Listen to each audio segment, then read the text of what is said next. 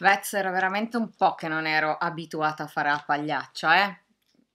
Ma tutto bene, tutto bene. Ciao lettrici e lettori, bentornati su Miss Fiction Books, io sono Tiffany e oggi finalmente è arrivato il video più richiesto di questo canale, almeno negli ultimi 5 mesi.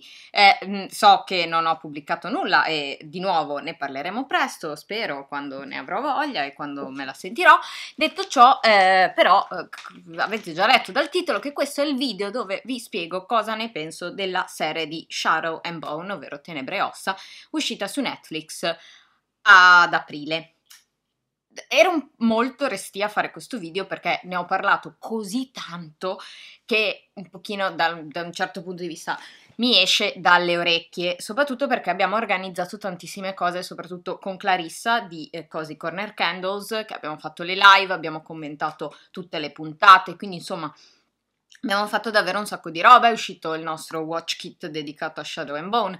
Ovviamente io ne parlo qua su YouTube, ma, ma, sono soprattutto cose che abbiamo ovviamente fatto su Instagram e su Twitch, quindi mi rendo conto che qua abbiamo un po' latitato, però me l'avete chiesto in tantissimi e questa cosa è veramente vera, cioè non è una di quelle frasi, me l'avete chiesto in tantissimi, ehm, da vero influencer, però insomma, quindi niente, ho pensato alla fine, io non ne ho voglia di farlo questo video, sembra già un delirio. Vabbè, eh, cioè, effettivamente me l'avete chiesto una quantità di persone un po' esagerata e che mi fa piacere, un sacco piacere. Ero solo un po' stanca effettivamente nelle prime settimane di parlarne perché capisco tutto, però basta, ok? E eh, niente, in tutto ciò siamo qua a parlarne. Quantomeno in maniera completa. Questi sono i miei appunti, in una maniera totalmente disgraziata, andrò un po' a braccio, sarà tutto un delirio come sempre. Tiffany, ti prego, abbi voglia di montare con le scene. Niente, mm, dare i messaggi a me stessa tramite i miei video. Comunque, niente, direi di iniziare perché abbiamo già perso un sacco di tempo. Ah, mi sono scordato di dire una roba, diciamola subito. Questo video sarà super mega spoiler, quindi se non avete visto la serie, cioè non ha senso vedere questo video chiaramente, perché almeno finalmente è passato un mese, ne parliamo anche spoiler, no? Per chi fosse capitato qua per la prima volta, questo è tutto regolare, questo delirio, questo flusso di coscienza è tutto regolare. Direi di iniziare a parlare un pochino della serie. Innanzitutto la domanda più gettonata è Tiffany, la serie di Shadow and Bone, ti è piaciuta?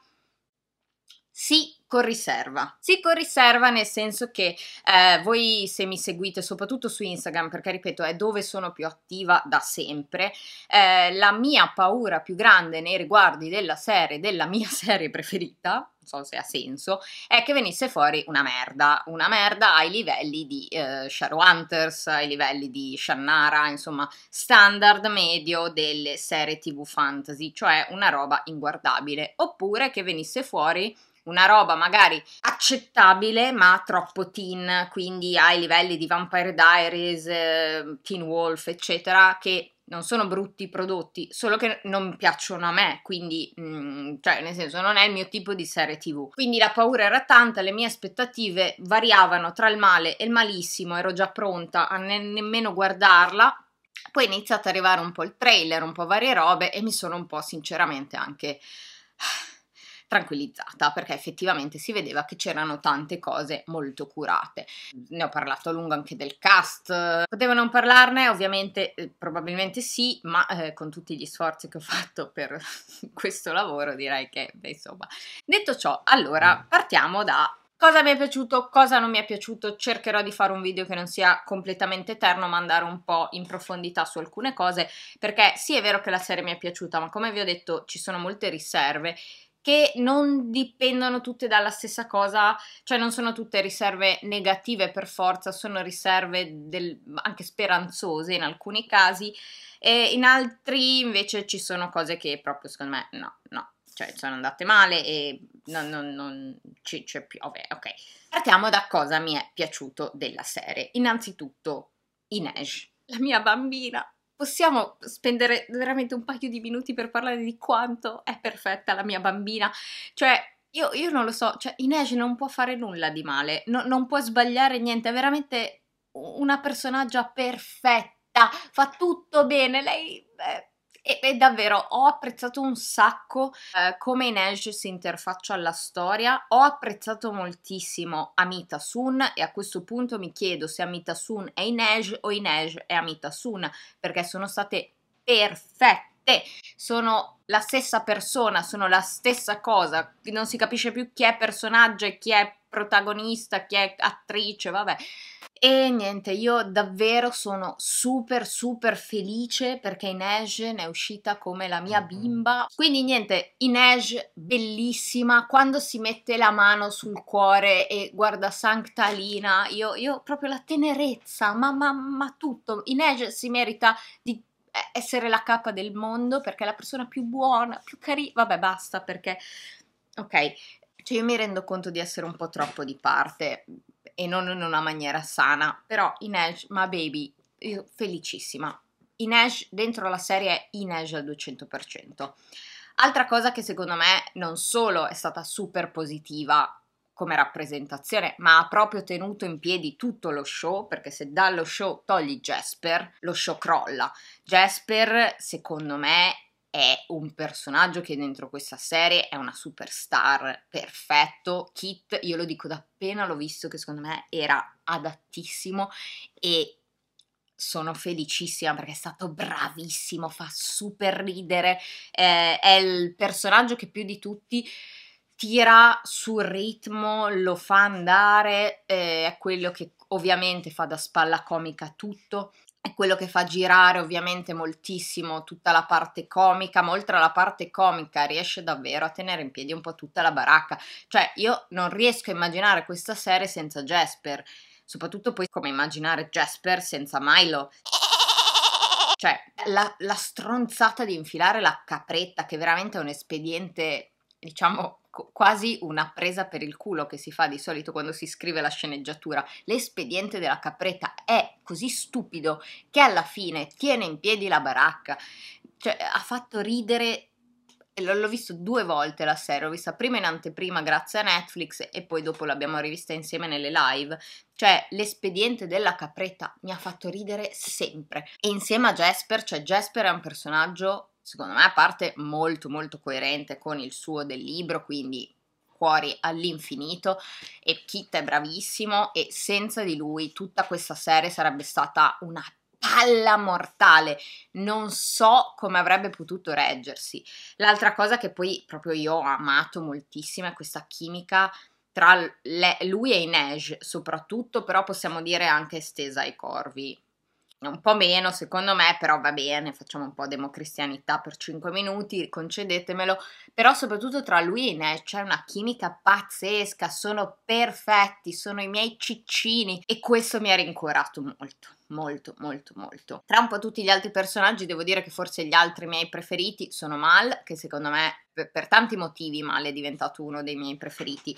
Intanto perché finalmente riusciamo ad avere dei lati di Mal che è chiaro che dalla serie di libri noi non riusciamo ad avere, perché Mal viene visto solamente attraverso gli occhi di Alina, perché è lei che narra tutta la vicenda in prima persona e già Alina non sa una sega nella vita, figuratevi provare a mettersi nei panni di un'altra persona a parte le mie battute su Alina che saranno numerose, però effettivamente vedere Mal che vede la storia co- come agente, quindi la, la, vive in prima persona, è molto più interessante e riesce a restituire un personaggio molto più a 360 gradi. Poi, secondo me, Archie Renault, che è ovviamente l'attore che interpreta Mal, è stato veramente bravo a dargli tutta una serie di connotazioni molto giuste. Secondo me, azzeccatissimo proprio come cast e azzeccata la scrittura di questo personaggio, che riesce in qualche modo, diciamo, a rendersi molto più sfumato rispetto al libro per ovvi motivi. Noi vediamo la sua prospettiva e questo ci allarga moltissimo la sua storia. A me è una cosa che è piaciuta molto, l'ho trovato anche molto bravo. Eh, allo stesso tempo molto fedele però allo spirito del personaggio, quindi devoto ad Alina, quindi un personaggio che comunque mette sempre lei davanti a sé e che comunque ha certi punti fermi, mm, potremmo dire certi punti nord fermi. Comunque, insomma, a me è piaciuto molto. Gli altri due che per quanto non mi abbia convinto del tutto il loro inserimento in questo modo, soprattutto l'inizio in cui viene introdotta Nina, che è completamente a caso, completamente sfilacciato, buttato lì, ma superata quella parte dopo si viene a creare ovviamente la dinamica Nina e Mattias.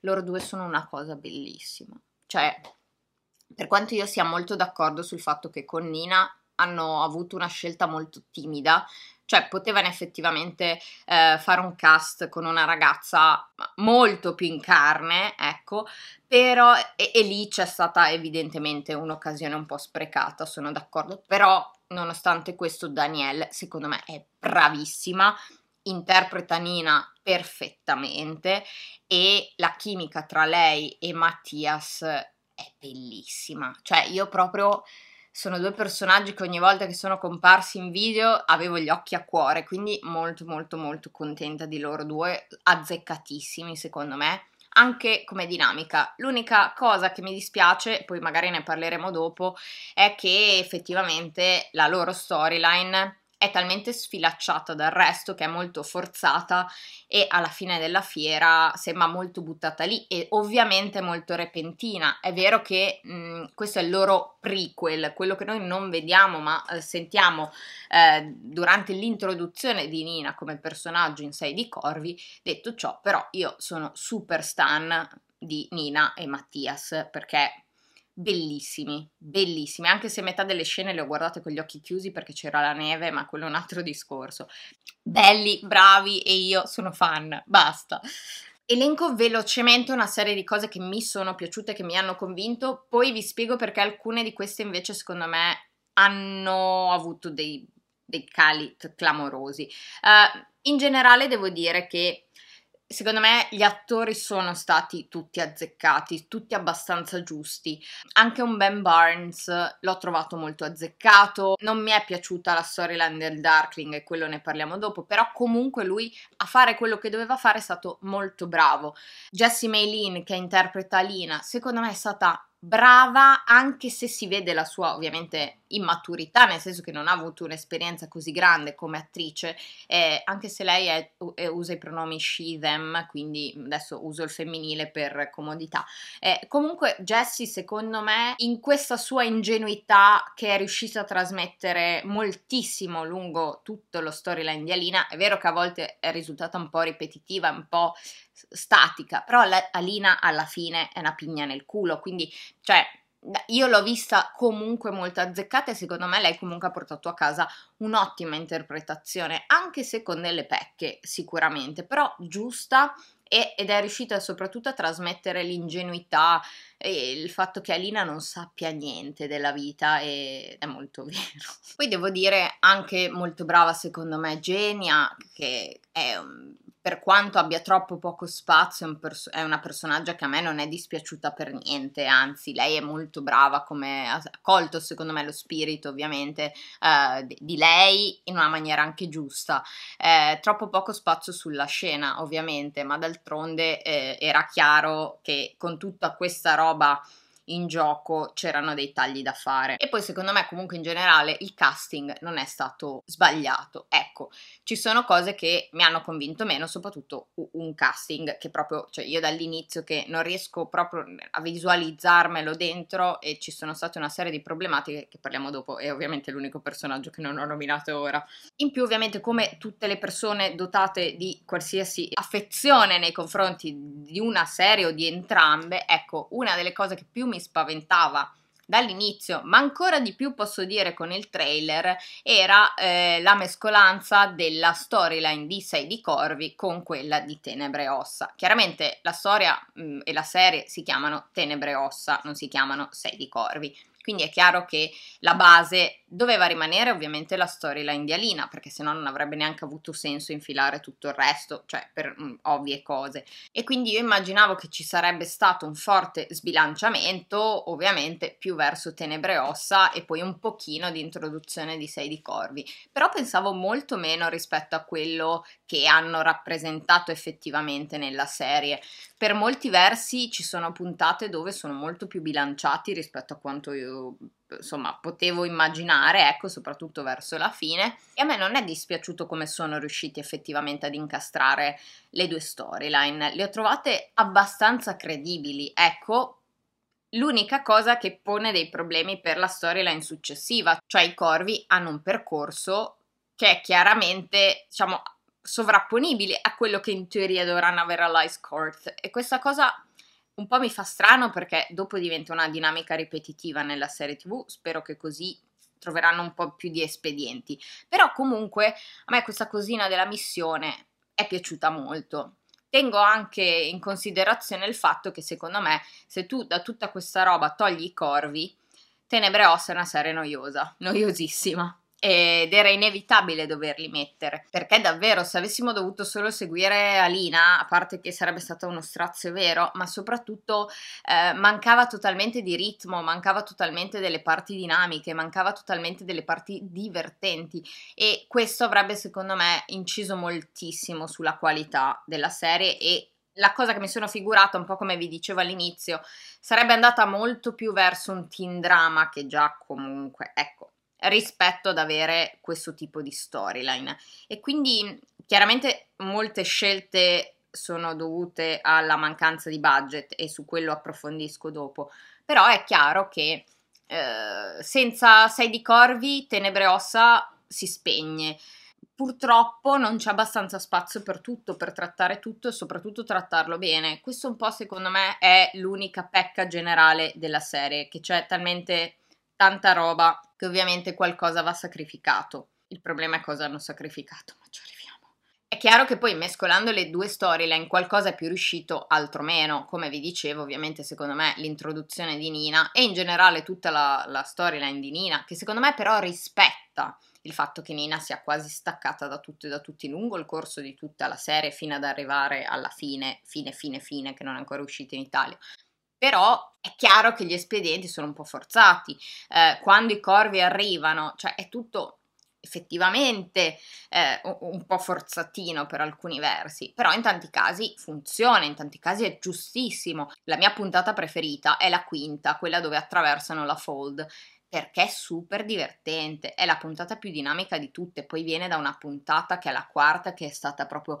una pugnalata nei, nelle ovaie dalla noia proprio, mamma mia.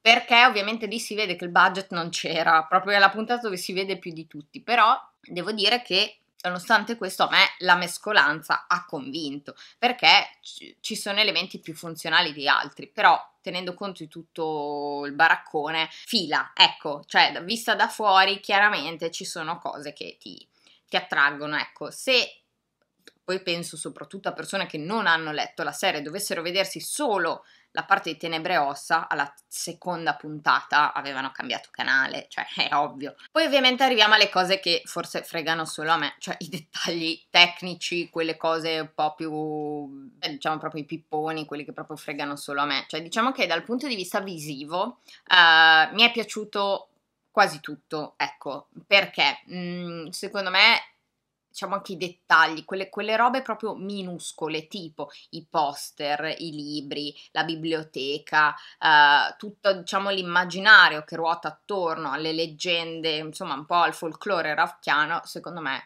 ma non solo poi al folklore rafchiano, ovviamente anche all'attualità, perché i poster sono molto tangibili per me è stato molto bello, cioè è stato esattamente come avrei sperato lo facessero, quindi non posso dire che quella cosa lì mi ha deluso, anzi fighissimo, anche gli easter egg, le inside jokes, tutte queste cose, la presenza di Lee che abbraccia Alina, cioè quanto è bella quella cosa lì, è, è dolcissima, è la cosa più dolce che ci fosse e devo dire che, ecco, su queste stronzate che non interessano a nessuno, io ci ho perso la testa perché sono quelle minuzie che secondo me impreziosiscono moltissimo un immaginario, ecco.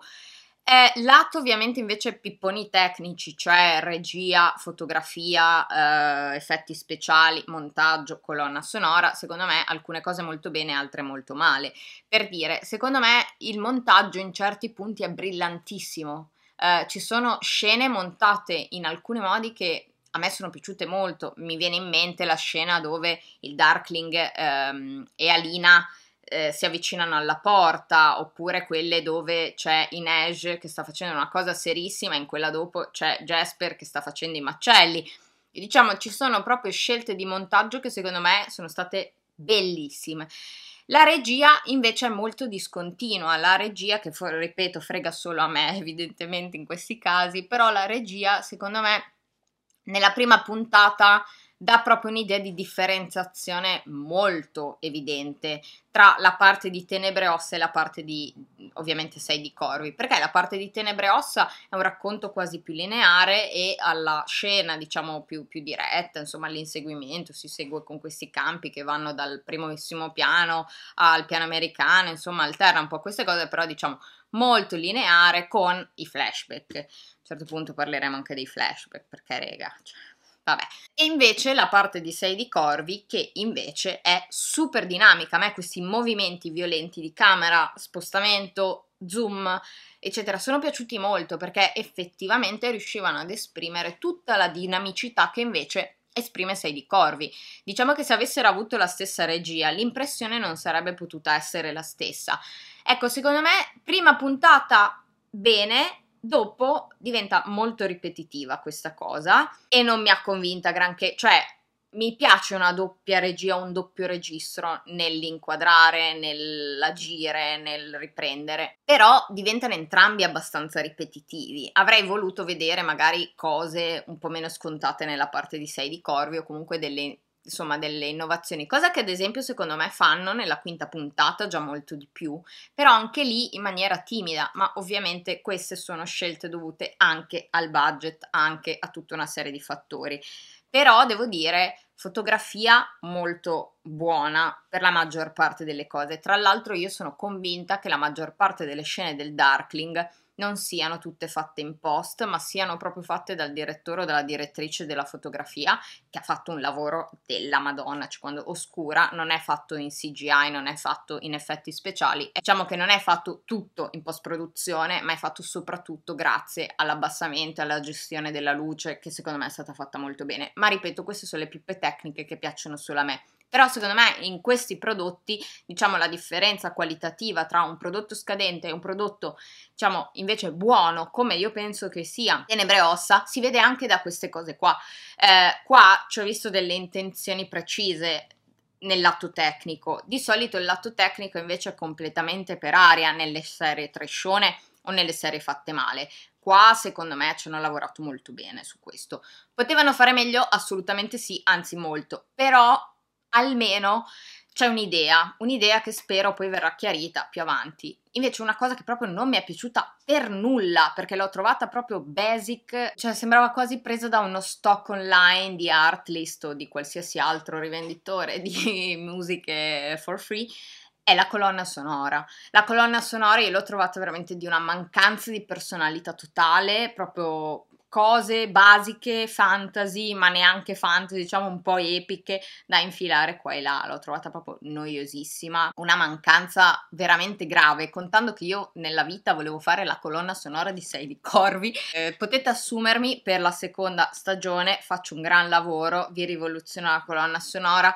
tanto che sto perdendo le giornate a prendermi delle scenette di Sei di Corvi e di, no vabbè, di Tenebrosa, ma continua a chiamarsi tenebre ossa questa serie, scusatemi, non mi entrerà mai in testa, e a montarci sopra i pezzi che ho io nella testa, perché non capisco, no, no, veramente non capisco perché qua non si sia fatto un lavoro della Madonna sulla colonna sonora, cioè a partire dalla sigla mi sembra tutto basico, cioè proprio quello che ti aspetti che non ti rimane in testa neanche a prescindere. Invece secondo me qua bisognava osare, qua bisognava andare con dei pezzati belli, destabilizzanti, cioè io me la vedo un po' alla colonna sonora di Maria Antoinette, però scelta da me, mando il curriculum. No, vabbè, lo so che questa cosa non frega nessuno, ma non lo so, io nella testa ho sempre detto che non riesco ad immaginarmi la prima scena di Sei di Corvi dove si cammina per Ketterdam e di sottofondo non ci sono i clash con uh, Guns of Brixton. Come è possibile non immaginarsi questa cosa? Cioè, è, è, quella la scena, ok? È già fatta, cioè già, già la descrizione ti dice che ci deve essere quel pezzo lì. Ora mi calmo perché mi rendo conto che questa roba interessa solo a me. E ok. Però, insomma, pippe tecniche, queste qua ce le siamo svangate. Questa è ovviamente la vostra Misty Quartiere che eh, pensava di essersele svangate veramente, le cose invece non è vero, è tutto falso. Mi ero scordata di parlare degli effetti speciali. Che dire, follettine e follettine, bene bene la Fold, cioè bene la Fold secondo me, a Alina invece sembra Goku. Eh, a quanto pare il suo potere non è eh, controllare la luce, il suo potere a quanto pare è fare le onde energetiche. Hanno dimenticato che luce e energia sono due cose diverse, non si è capito perché. Tant'è, e secondo me è quello malissimo. Mm, sul resto, devo dire, non mi sento di criticare granché. Ecco, linea alla regia. In generale, poi, secondo me la cosa preziosa e comunque riuscita di tutta la serie è che i dialoghi sono credibili, perché ovviamente ci sono dei dialoghi, soprattutto i, i, i bickering, diciamo quelli proprio da battibecco avanti e indietro, continuo, tra Jasper, eh, Inej, Katz, insomma, tutta una serie di cose che secondo me sono riuscitissimi, ma come dire, quello mi aspettavo che fosse molto buono, anche perché parti da uh, dei dialoghi che sono degli ottimi dialoghi, quindi insomma andava, era, già, era già facile. E la cosa che devo dire premio tantissimo di tutta la serie è che e soprattutto l'aspetto che mi sento di premiare di più di tutta la serie è che comunque anche con questi grossi cambiamenti, perché ci sono dei cambiamenti enormi, questo è un adattamento, non è assolutamente una trasposizione pari pari. Comunque questo adattamento secondo me riesce a rispettare a pieno il senso della storia e lo spirito dei, dei suoi personaggi e delle sue personagge. Anzi, vi dirò di più, secondo me Tenebre e Ossa per certi versi ne esce meglio, per altri secondo me no, soprattutto uno che vi spiego dopo e un altro che secondo me è minoritario, però è comunque la cosa che mi ha dato più fastidio, però allo stesso tempo secondo me in questo universo Tenebre e Ossa riesce a rispettare le premesse di tutta la serie. Questo è un aspetto non da dimenticare perché ci sono tante serie che non lo fanno o non riescono a trasmetterlo, invece loro ci riescono e per me questo è super prezioso. E appunto secondo me Tenebre Ossa ne esce meglio per tanti versi perché sembra quasi eh, avere più nuance, soprattutto va più veloce, va molto più, più snello. Prima di passare alle cose negative, però secondo me c'è un importantissimo discorso da fare, perché ci sono, queste sono le cose che soprattutto mi sono piaciute, cioè comunque io mi sono gasata un sacco per tantissimi aspetti, tantissime puntate, eccetera, eccetera, cioè la quinta proprio io ero mi hanno fatta felice proprio. Voi non avete idea neanche del modo in cui io ho visto tipo la serie in anteprima, che tra l'altro tipo non ne potevo parlare con nessuno eh, non potevo farne proprio parola, menzione, eccetera. Quindi ho ricevuto questa cosa, mi è stata mandata e per due giorni è stato terribile perché era l'unica roba alla quale ho pensato. Ho sottoposto pure Mr. Fiction alla visione insieme a me, da persona che non ha mai letto Sei di Corvi. Sì, lo so, se ve lo state chiedendo, stiamo ancora insieme nonostante questa sua grandissima mancanza. Eh, io ci provo, serve a niente. Vabbè, eh, a parte questa cosa qui, Diciamo che io avevo veramente il cuore in gola prima di vederla ed ero disperata perché se avessero rovinato tutto, cioè voglio dire, non è che stiamo parlando di una serie a caso, stiamo parlando della mia serie preferita ed ero partita con aspettative bassissime, invece secondo me hanno fatto un buon lavoro, un buon lavoro per tanti versi, ecco però il grande punto che secondo me va toccato è uno, cioè molte scelte sono dovute evidentemente al budget, cioè la mancanza di budget si è vista in un sacco di aspetti o comunque un budget che, come già premesso dagli autori e dalle autrici, non era bassissimo, ok, ma neanche un budget stellare. Calcolate che fare una serie fantasy di questo tipo costa fantasy e storica, ok, di questo tipo costa sei volte tanto quanto costa una serie normale. Ecco, e eh, per dire, mentre ho visto la cura in alcuni dettagli che chiaramente ti non costano tanto quanto altri, cioè per dire anche le kefte, le kefte sono tutte abbastanza curate, i vestiti sono abbastanza curati e poi vengono contrapposti a gente in giacca e cravatta che non ha minimamente senso a palazzo. Eh, ci sono eh, il palazzo di per sé è un palazzo poi come dice anche il Darkling, un posto più brutto non l'ho mai visto, ma effettivamente, cioè da dentro sembrava un po' una roba mm, basic. Ci sono tante cose che secondo me poi ti fanno capire che il budget era risicato. Soprattutto, secondo me, si nota dalle ambientazioni di tutte le varie scene e l'altra cosa che secondo me proprio te l'ha sbattuto in faccia il fatto che non avessero budget è l'uso dei flashback. Mi spiego.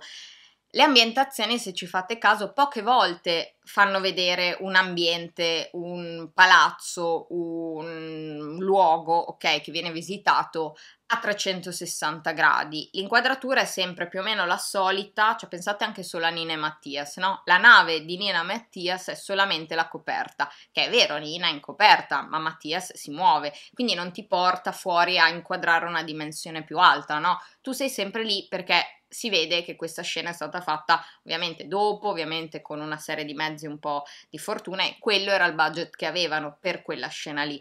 E ad ogni puntata poi devono dare un budget, cioè è complicato fare la produzione di una serie, quindi vabbè, quello è tutto un altro discorso. Ovviamente, eh, per dire, quando siamo nel piccolo palazzo, no? noi più o meno insistiamo sempre su quattro ambienti, la camera di Alina, lo studiolo del Darkling, la sala grande, diciamo, e vabbè, quello che è la mensa della Kamst che è stata trasportata a Ravka dalla pochezza, vabbè, a parte le battute stupide, ovviamente noi abbiamo una visione molto più ristretta di questi ambienti, perché insistiamo sempre su quelli, quello era il budget che ci consentiva un po' di esplorare solo alcune, alcune parti del palazzo, mentre invece se ci pensate, guardate solo la differenza che si ha anche con Game of Thrones, dove ci sono molte più inquadrature quando si entra negli ambienti, li si segue, si vedono tutto... Eh, è ovvio che questa cosa non può essere fatta quando non hai lo stesso budget, perché hai meno camere, meno allestimenti e ovviamente hai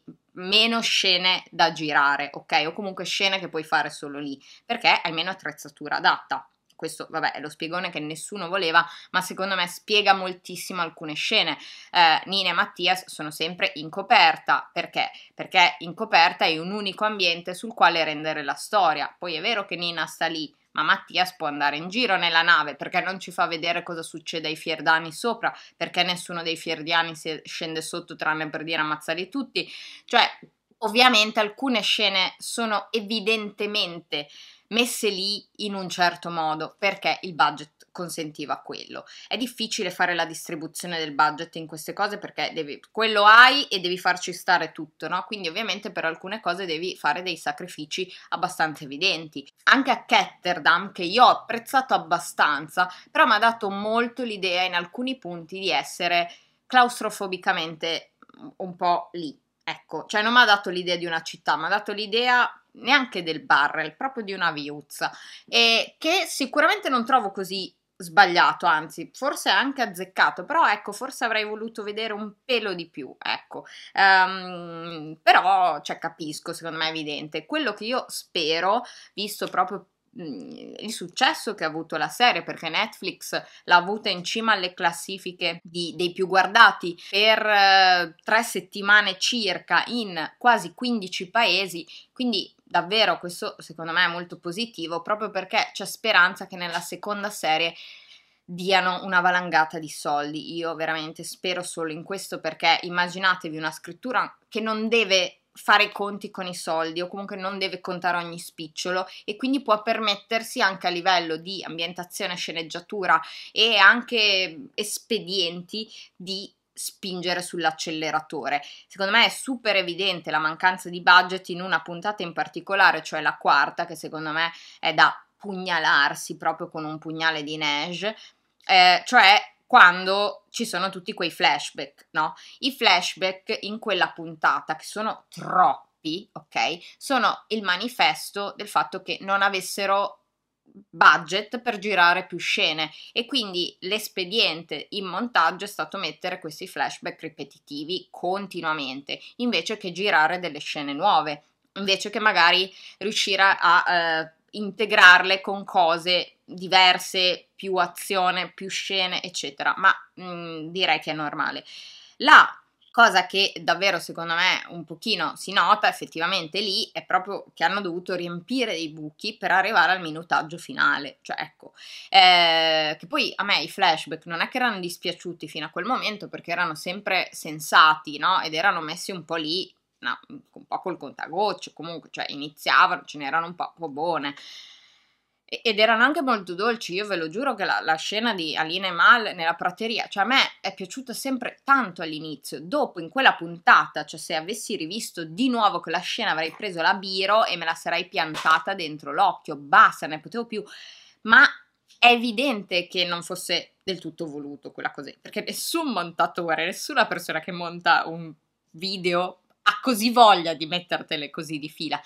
E, e quindi insomma, ecco, la cosa mh, mhmm, maggiore secondo me che ha influito sulle pecche della serie è il budget evidentemente però questa è un'impressione ovviamente mia personale ecco mhmm, abbastanza confermata dalla regia che hanno avuto cioè soprattutto dalle parti tecniche quantomeno uh, Mentre invece ci sono cose molto positive, per dire la Fold, ok? A me è piaciuta moltissimo come è stata resa. Secondo me la Fold è un'ambientazione perfetta mh, ho apprezzato moltissimo come sono riusciti a trasmettere tutta questa oscurità, questa divisione, anzi è stata ancora più potente rispetto a come secondo me poteva emergere dal libro, perché hanno proprio creato questa frattura molto tangibile all'occhio umano, anche per chi non aveva riferimenti sulla serie.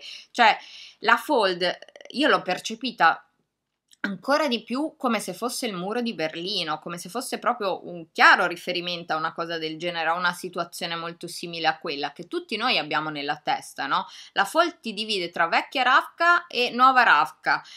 Cioè questa cosa qui è importante perché ti esclude tutta una serie di persone e ti crea tutto un contesto molto tangibile, secondo me fighissima, come secondo me molto carina, molto riuscita la scena dell'orfanotrofio, eh, perché è stato tutto molto credibile, ecco, molto bello, anche quell'atmosfera, una delle scene più calde di tutta la serie, proprio per distaccarsi anche un po' da questi ambienti invece cupi, freddi, eccetera.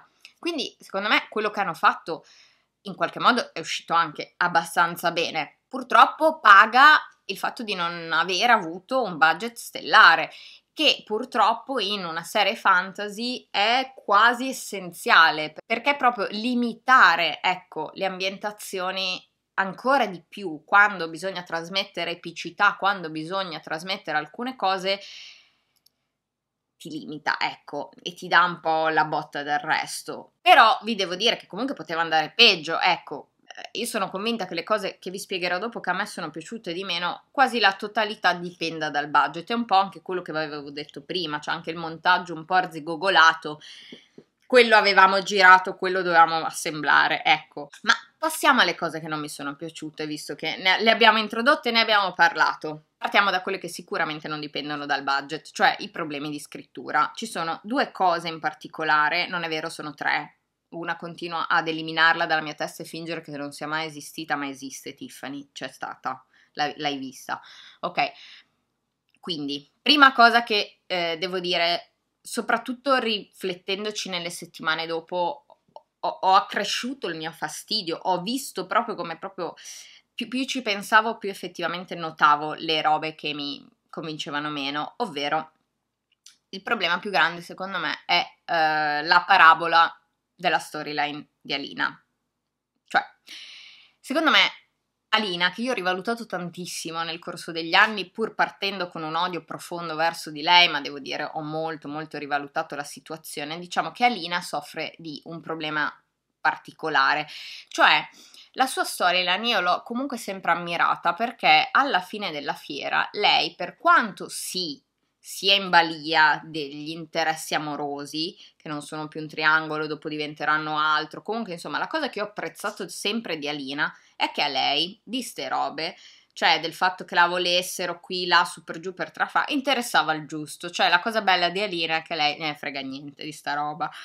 O comunque sì, magari aveva il dubbio, come è giusto che il dubbio fosse instillato, soprattutto nelle situazioni più complesse.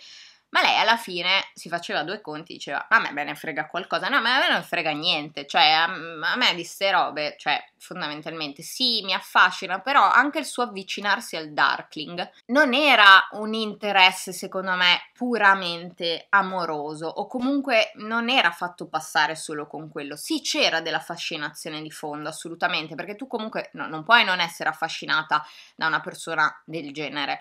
Eh, allo stesso tempo, però Alina, secondo me, sempre avuto molto chiaro che soprattutto ciò che la affascinava non era solo la parte, diciamo, di interesse amoroso, il fatto di essere vista e di essere tutta fru fru come effettivamente Alina nella serie, ma soprattutto il fatto di vedere qualcuno che poteva effettivamente insegnarle qualcosa.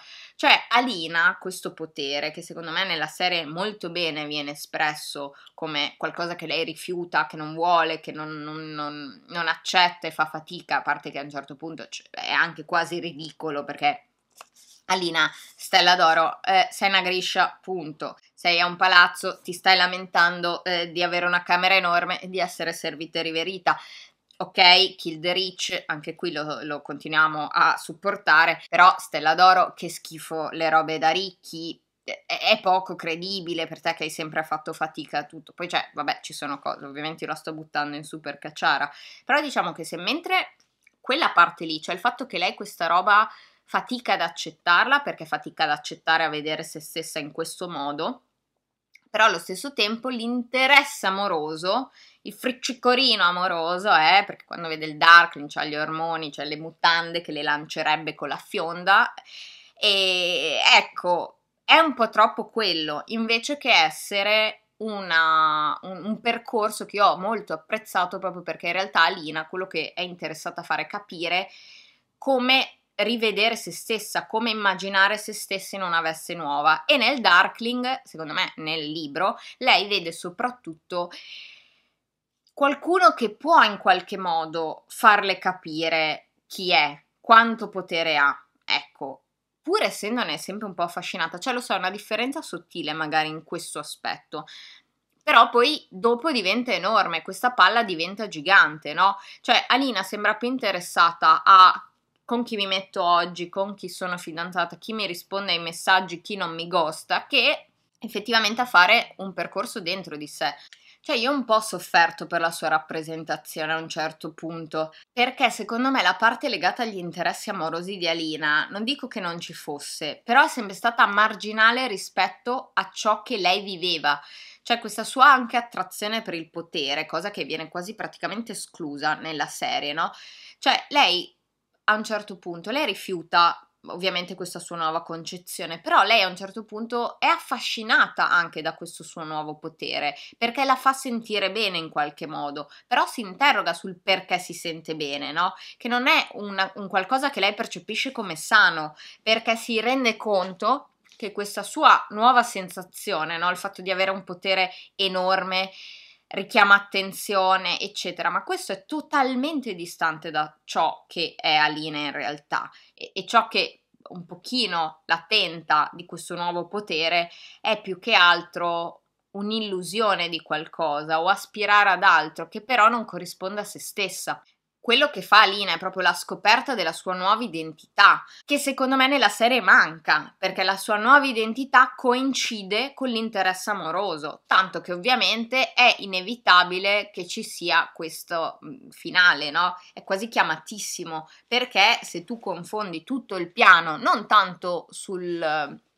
sul fatto che tu e il Darkling siete fondamentalmente equiparabili, eh, ma il fatto che tu un limone glielo cacceresti più di una volta a sorpresa, secondo me la storyline di Alina proprio si appiattisce molto come senso, poteva essere più interessante, come secondo me è più interessante nel libro, posto che secondo me cioè anche il fatto che Mal verso di lei abbia questo sentimento protettivo, questo detto non detto, secondo me è più riuscita come storyline, ma anche lì, ma sembra quasi veramente che quando lei smolla il Darkling e fugge poi da Mal, in quel caso, lei sembra la fidanzatina tradita e va da Mal perché è la risorsa vera e propria che incontra per culo, no?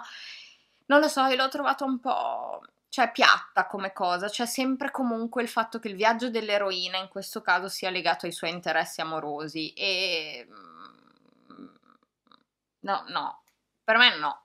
Questa cosa non mi è piaciuta. Secondo me si è sacrificato proprio eh, il suo percorso che è molto figo e molto interessante dentro la serie, per quanto sia strano, eh, sia inusuale, sia un sacco di tante cose per motivi molto evidenti. Ovviamente avevamo Ben Barnes, lo dovevamo sfruttare proprio a più non posso, semplificando il messaggio, perché è più facile da trasmettere il fatto che lei si senta tradita come fidanzata o come papabile interesse amoroso piuttosto che sentirsi tradita perché si sente usata in quanto ci si è allontanati da quello che lei stava scoprendo, no? Oppure ha capito che il suo potere non appartiene più a lei. Cioè, non so, è tutto molto molto più, più piatto. Cioè, che poi immaginavo come si poteva rappresentare questa cosa meglio in tanti modi, però nel momento in cui lo stesso Darkling, che è il problema grosso numero due, lo stesso Darkling motiva le sue scelte sempre di più verso una vicinanza tra due persone che non sono separati però dal punto di vista affettivo, allora è inevitabile che la storyline sia di Alina ma anche un po' quella del Darkling ricada in qualcosa che secondo me potevamo un pochino soprassedere. Poi ripeto, avevamo Ben Barnes, dovevamo lanciare le mutande dalle finestre, quindi lo abbiamo dovuto sfruttare al massimo.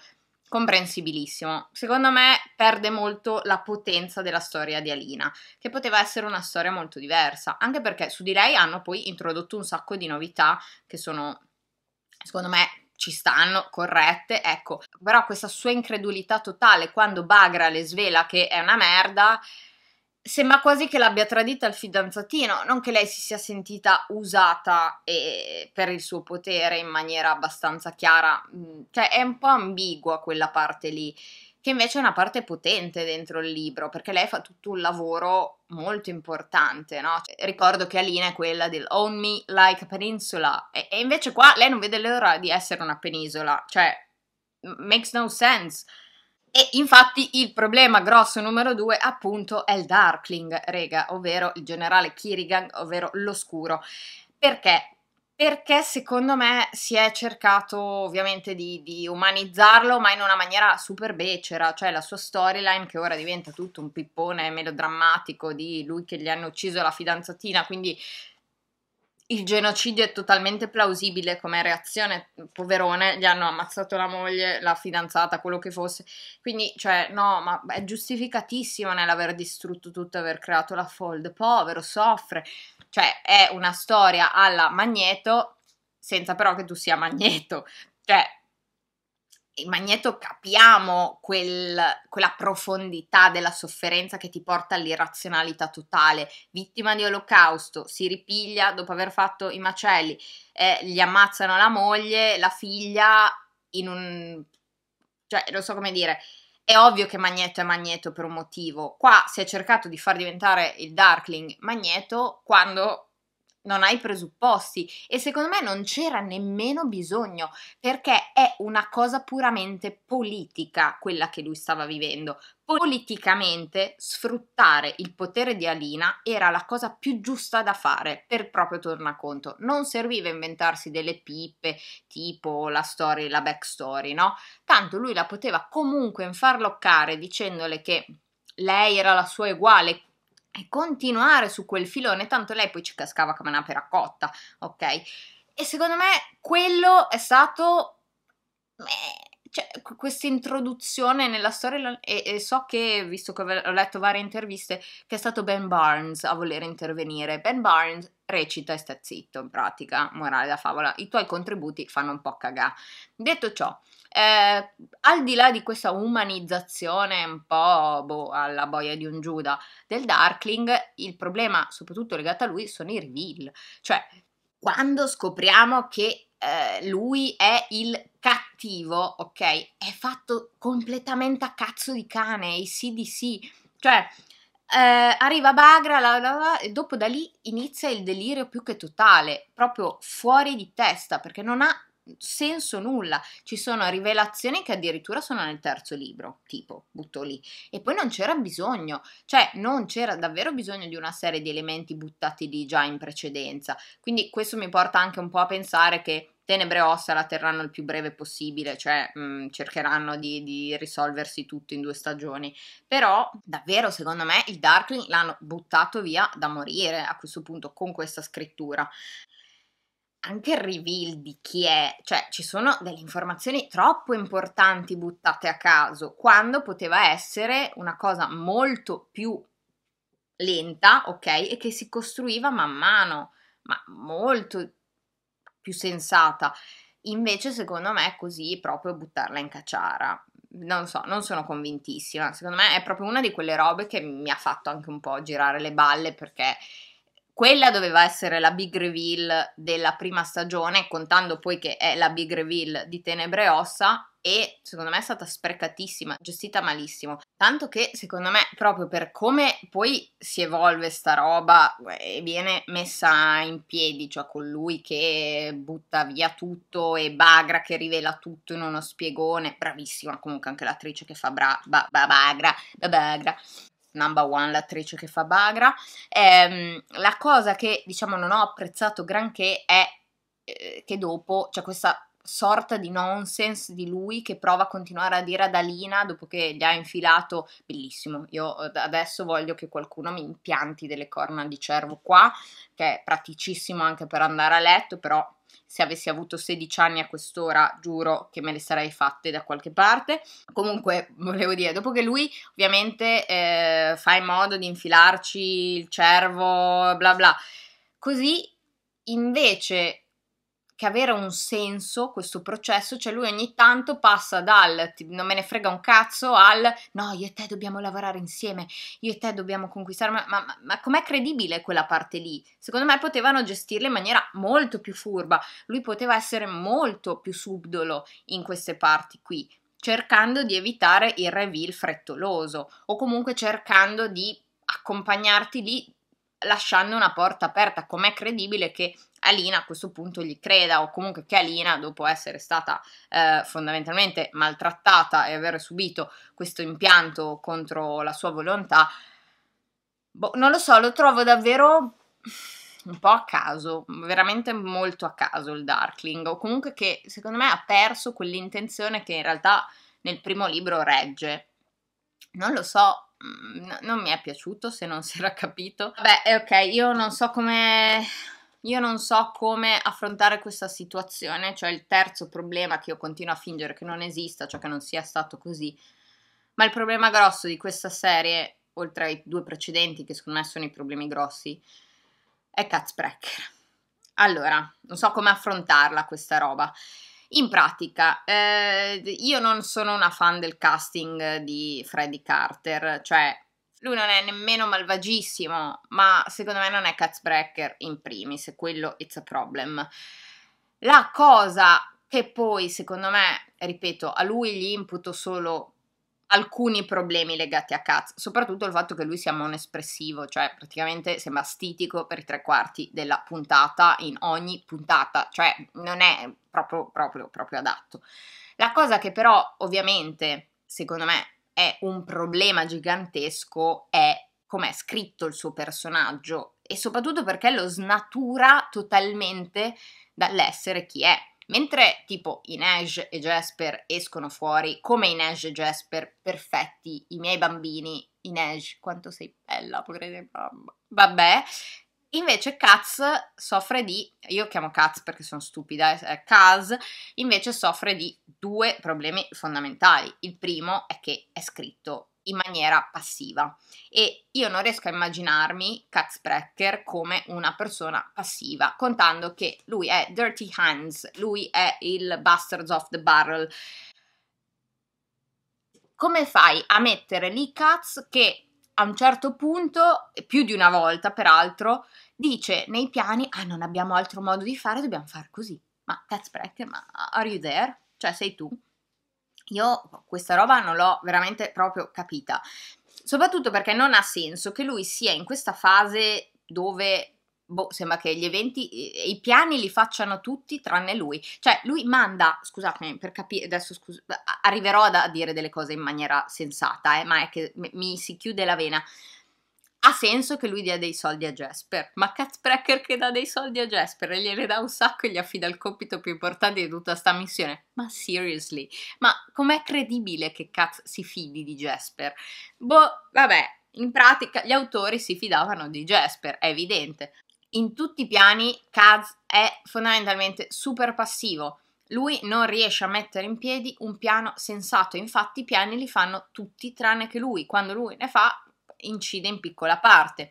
Poi, voglio dire, anche eh, trucchi di magia, lui che si scontra col Darkling e puff, facciamo i segnali di fumo, facciamo l'effetto mago Telma, non lo so, io allucinata da come sia stato scritto Kaz, perché ovviamente il fatto che lui sia passivo lo porta a essere anche, secondo il problema, il personaggio meno efficace di tutta la serie. Voi potete immaginarvi una serie dove Casbreaker non è la superstar? Io no, sinceramente. Cioè, perché se tu mi metti Casbreaker lì, lui deve bucare lo schermo, lui deve spaccare tutto e tutti, perché lui è Cas. Quindi, giustamente, suggerimento da casa dato da Clarissa durante le live era che se dovevano scriverlo così, cioè col culo, perché non avevano spazio, non riuscivano a far emergere una personalità così complessa che bastava fargli fare i piani comunque cioè molto semplice, bastava non metterlo, mandare in missione Inej e Jasper e far vedere Kaz alla fine come il mastermind di tutto e così aprire la seconda stagione. Secondo me Kaz scritto così in questa prima stagione potevano non metterlo, perché è una merda, perché è completamente fuori dal personaggio. Io non riesco, veramente mi fa, irrab- mi fa arrabbiare ora, infatti smettiamo di parlare di Kaz Bragg, tanto cosa c'è da dire, è scritto di merda e secondo me Freddy Carter non è la persona più adatta a interpretarlo, però ripeto, lui ha fatto quello che poteva con il personaggio che aveva o come era stato scritto. E per me è inaccettabile, cioè proprio cas voto zero, cioè non cas voto uno, come zero proprio. Non, non l'ho ritrovato in niente, questa cosa mi preoccupa. Vabbè, quindi altro problema, secondo me, è l'arc di Zoya che sapete insieme a Inej essere l'amore della mia vita. E Zoya che a me è piaciuta molto come attrice cioè spacca, fa super ridere è molto sexy. Cioè secondo me l'attrice che interpreta Zoya è molto brava perché comunque mh, mm, ha, su- ha, i suoi assi nella manica e mi è piaciuta tanto. Però il problema è un po' l'arc di Zoya per diversi motivi. Innanzitutto, secondo me, sì, è vero che si nota questa sua inimicizia con Alina, ma veramente scuola elementare, asilo, ok, per tutto il tempo. Peraltro, anche lì, quanto emerge che Zoya fosse effettivamente a capo di tutto e di tutti? Quanto emerge la sua presenza nella second army, il suo ruolo, la sua potenza, il suo essere effettivamente il braccio destro del Darkling, ma in, proprio in toto. Invece sembra una che se lo faceva c'è rimasta di merda perché lui l'ha accantonata per Aline, quindi diventa anche lì una diatriba amorosa, una diatriba legata all'interesse amoroso. No, perché secondo me invece Zoya è un arc molto figo, proprio perché rappresenta invece la conflittualità femminile o eh, la misoginia interiorizzata ed è super figo da far vedere. Invece qua è molto banale, cioè tu mi hai rubato il fidanzatino, quindi io mi arrabbio. No, cazzo! Cioè, Zoe è molto di più di questo. Poi sì, c'è questa cosa qua, ma è l'ennesimo modo per far vedere come il Darkling la sfruttasse banalissimo e buttato via. Questa cosa molto repentina non, non, mi è piaciuta molto, anche perché Zoe arriva ad accumulare tutti questi, a vedere tutte le cose che lui ha fatto contro di lei anche, non solo contro gli altri. Invece qua sembra che per bontà d'animo lei abbia capito che è tutta una stronzata. Mm. Ecco, questa cosa qua secondo me di nuovo appiattisce l'arc di Zoya. Poi ho capito che è uscito King of Scars e ci sono delle cose abbastanza dipendenti da questo libro, l'aveva già annunciato lì ed erano inevitabili e ok, però Zoya no, cioè Zoya non me la devi toccare, cioè Zoya dagli un arc sensato. Mi dispiace perché secondo me anche qui sembra veramente una diatriba tra scolarette, una diatriba da prima elementare e c'era della profondità molto più sensata. Anche qui scelta dovuta a cosa? Allo spazio, al montaggio, al fatto che tanto le daremo spazio, dovevamo fare un po' ricorreggere il canon, non lo so, sono un po' dubbiosa, però Zoya no, anche perché su Yaya secondo me è molto bella, molto brava e mm, a me ha reso molto bene in, in scena. L'arc però... Mm, male, quello male. Allora arriviamo agli ultimi tre punti che sono abbastanza veloci secondo me, cioè la mancanza o comunque la carenza di un world building, un sistema magico e soprattutto dell'aspetto politico.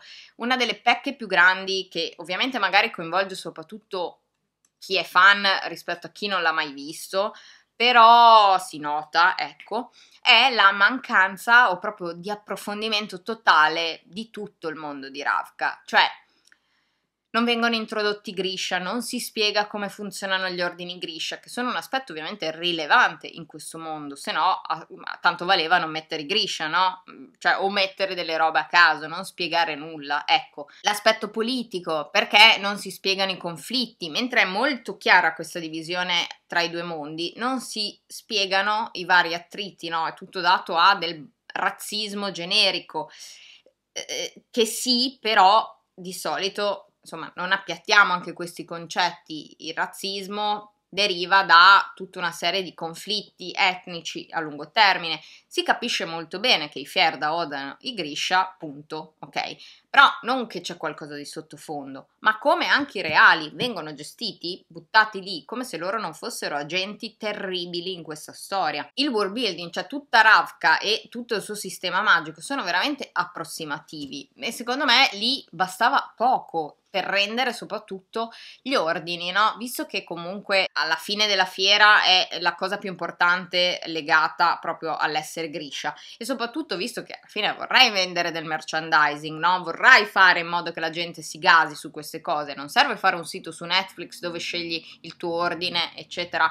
e poi non sai nemmeno che cos'è. Per dire, bastava ripetere la scena delle kefte di Alina. Quando Alina entra al piccolo palazzo le devono far scegliere la sua kefta o le devono dire a quale ordine appartiene, potevano prendersi 45 secondi per spiegare tutti. La kefta rossa, eh, bla bla, la kefta blu, tu potresti usare la blu, ma potresti usare anche la nera. Perché? Perché non c'è nessuno che ha mai fatto quello. Cioè, poteva essere così semplice. Oppure primo introduzione nel campo dove si allenano i Grisha, far vedere che ci sono tutte le divisioni, vedi là si allenano loro, là si allenano loro, i loro poteri sono diversi, così. Invece sono tutte cose che noi vediamo proprio super velocemente e non riusciamo a comprendere, cioè poi sono dettagli magari per dire le kefte, no? Che hanno tutte le varie particolarità in base al proprio ordine, ma in base anche ovviamente al proprio potere perché non cogliere l'occasione per dire ma perché tu hai la, questa cosa qua che io non ho? Eh, perché io sono questo, cioè era facilissimo e invece non l'hanno fatto e secondo me perde moltissimo perché è un aspetto importantissimo di questo universo, come l'aspetto politico. Se tu togli dal Grishaverse tutti i conflitti politici, etnici, eccetera, eccetera, non ha senso la storia, ma questa storia poi nasce per mettere proprio in luce quanto siano assurdi e irrazionali questi conflitti e a cosa portano questi conflitti, che si basano su mh, stereotipi, cose iniziate centinaia di anni prima. Ecco, questo è una cosa che secondo me è molto carente nella serie e bastava davvero poco, anche perché hai lavorato così bene sui costumi, quasi sempre. Hai lavorato così bene nell'interpretare comunque gli attacchi da parte dei Fierdiani, hai lavorato bene nel far vedere un po' che due o tre accenni di politica della serie, no, ma qua gli Shu sono trattati male così, ma perché non, non dare quel contentino di un minuto così si capisce meglio. Domanda. Eh, l'altro problema grossissimo, secondo me, è che ovviamente avendo buttato giù tutta sta roba, avendo messo tutti questi personaggi, volendo eh, dare spazio ovviamente un po' a tutti, cosa succede? Non c'è spazio abbastanza per approfondire tutti, quindi sono tutti veramente molto buttati lì, tranne ovviamente soprattutto Alina. Poi secondo me ci sono storyline un po' più approfondite, ma fino a un certo punto tipo in Asia, tanta carne al fuoco, forse troppa. E un'altra cosa che secondo me è molto evidente dalla serie, ma in realtà è evidente soprattutto dopo aver finito la duologia di King of Scars, parleremo anche di quello, ve lo giuro, è che chiaramente ci sono troppi elementi derivativi dalla rettifica di alcune cose, no? Introduzioni che capiamo molto bene in King of Scars e meno qui. E cioè, alcune scelte molto forzatone, ecco, e si vede, lo annunciò già lì alla presentazione di King of Scars, quindi non stupisce nessuno. Alcune cose più riuscite, altre meno. Ovviamente ci dobbiamo preparare, questo è un adattamento e quindi insomma ci saranno cose che convinceranno meno di altre, però davvero per chiudere eh, tutto questo pippone che finalmente è giunto alla fine per voi, mi sarò dimenticato 8 milioni di cose, ma cioè almeno l'impressione generale che ho io sulle cose che mi sono piaciute e non mi sono piaciute ce l'avete. Ecco, la cosa che a me ha convinto soprattutto è che visivamente sia molto piacevole, ci sia un grande rispetto nello spirito del libro e so- dei libri poi soprattutto, ma anche che, cioè insomma, abbiano mantenuto fedeltà a tutto questo immaginario che secondo me comunque è molto importante.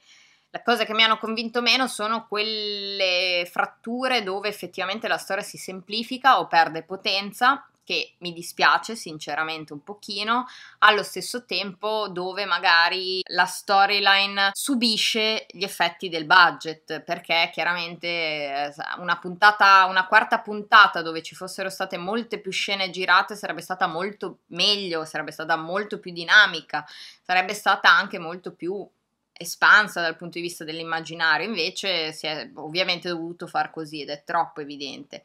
Quindi sì, insomma, sono contenta perché ve lo giuro, raga, io il giorno in cui ho, ho premuto play ho, ho, avuto quasi un attacco di panico perché ero presa un po' male, però sono molto contenta che sia venuto fuori comunque questo, che può migliorare certamente, però ricordiamoci che alla fine per essere un prodotto di genere fantasy su Netflix in questo momento è uno oggettivamente dei migliori da tanti punti di vista, che può migliorare peraltro tantissimo, quindi io sono abbastanza contenta. Eh, alcune scelte di Eric sinceramente non le ho condivise, ripeto, Katzbrecker è un problema e lui ha cercato di mettere una pezza dicendo che no, ma ogni persona vede Katzbrecker in un modo diverso, una ciccio, cioè con chi pensi di avere a che fare, cioè, quindi boh, quelle cose lì sinceramente mi ha lasciato un po' così, ecco, eh, lì è intervenuta, ma ovviamente fino a un certo punto, perché lei è produttrice esecutiva, ma non ha in mano tutto, comunque magari può aver accettato alcune cose anche dovute ai soldi che c'erano,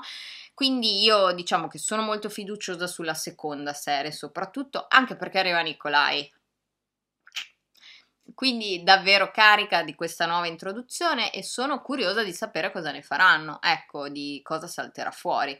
Però devo dirvi, davvero, sono abbastanza contenta. Pensavo di buttarmi giù dalle scale inizialmente, invece alla fine sono ancora qua e non è andata male, dai, poteva andare peggio, con tutta una serie di problematiche che vanno sistemate e soprattutto dopo questo video sanno tutti che mi devono assumere per la colonna sonora, ok? Ci sono comunque le mie playlist dedicate giù nell'info box, vabbè, qua siamo al delirio, rega. Boh.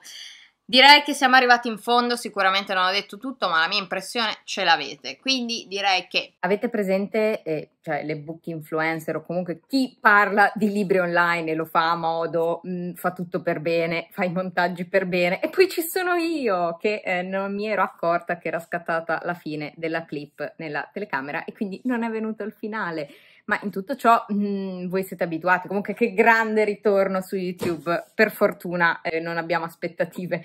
Detto ciò, niente, rega, più o meno quello che avete visto in quest'ora è tutto ciò che penso della serie di Shadow and Bone. Eh, pregi, difetti, poi ce ne sarebbero da dire, ma insomma mi sembra che un'ora di video sia già sufficiente per elaborare tutto quello che ho elaborato. E niente, quindi io adesso vi chiederei giù nei commenti, ci sentiamo, così mi dite intanto i vostri pareri e magari discutiamo sulle cosine quelle che, che, ho detto io che a me non sono piaciute, magari a voi sono piaciute un sacco, e poi mi fate sapere cosa ne pensate voi. Ovviamente c'è anche Pipi in questo finale, come sempre, ormai è lei quella che dirige il canale, ha deciso di essere lei la protagonista. Detto ciò, Stelle, io vi ringrazio, come sempre portate pazienza perché inizio a essere completamente inadeguata a stare su qualsiasi social, ma comunque, insomma, eh, accettatemi per ciò che sono. Detto ciò, ci sentiamo giù nei commenti e direi che noi ci vediamo al prossimo video. Ciao!